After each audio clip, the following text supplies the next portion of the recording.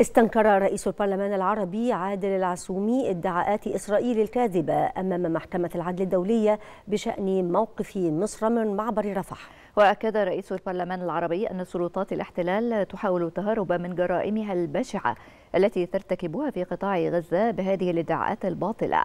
وأكد العسومي أن موقف مصر منذ بداية العدوان الغاشم لا يحتاج إلى شهادة من أحد مشددا على أن مصر سخرت كافة أجهزتها لتلبية الأولويات الإنسانية والطبية الملحة لدعم الأشقاء الفلسطينيين في قطاع غزة فضلا عن جهودها الحثيثة على المستوى السياسي لوقف إطلاق النار ووقف هذا العدوان. مضيفا أن القصف الذي قامت به قوات الاحتلال في محيط معبر رفح من الجانب الفلسطيني كان واضحا للجميع كما أن عرقلتها لدخول المساعدات الإنسانية إلى قطاع غزة لا تحتاج إلى دليل متمنا مواقف مصر قيادة وشعبا وأنها دائما في طليعة المناصرين والداعمين للقضية الفلسطينية على كافة المستويات.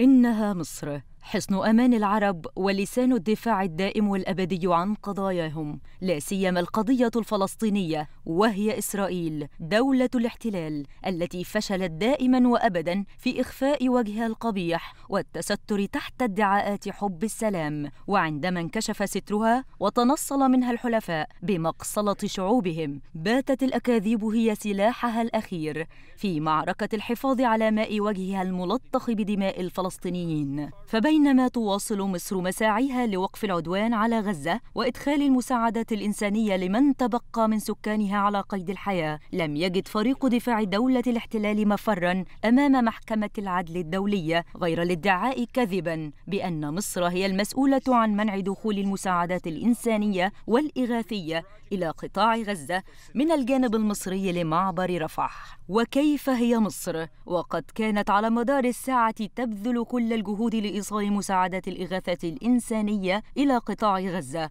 وكانت أول دولة تصل شاحناتها إلى القلب الفلسطيني. بل واشترطت عدم دخول الأجانب الذين تم إجلاؤهم من غزة قبل أن يسمح الجانب الإسرائيلي بدخول المساعدات الإنسانية إلى غزة. كيف هي مصر؟ وقد أكد المسؤولون الإسرائيليون مرارا وتكرارا وفي مقدمتهم رئيس الوزراء ووزير الدفاع أنهم لن يسمحوا بدخول المساعدات لقطاع غزة وخاصة الوقود في تصريحات صريحة وواضحة حول نيتهم المبيتة لحصار المدنيين العزل. بل كيف هي مصر؟ وقد دأبت جميع المنظمات الدولية والإقليمية على مناشدة الجانب الإسرائيلي بالسماح بوصول المساعدات إلى غزة بعد تفاقم الأوضاع الإنسانية إلى حد عجزت البشرية عن استيعابه. بل واتهمت هذه المنظمات الاحتلال الإسرائيلي صراحة بمسؤوليته المباشرة عن ذلك الوضع بعرقلته لكل جهود الإغاثة في القطاع وكان آخرهم الأمم المتحدة ومنظمة الصحة العالمية. ولم اللجوء لشهادة المنظمة الدولية إذا كانت حليفتها الأولى واشنطن ذاتها؟ أكدت سيطرة جيش الاحتلال الإسرائيلي على دخول المساعدات للقطاع وتعطيله المتعمد لها. وهو ما ظهر جليا من خلال مطالبة الرئيس الأمريكي جو بايدن لدولة الاحتلال أكثر من مرة بفتح معبر كرم أبو سالم لتسهيل دخول المساعدات.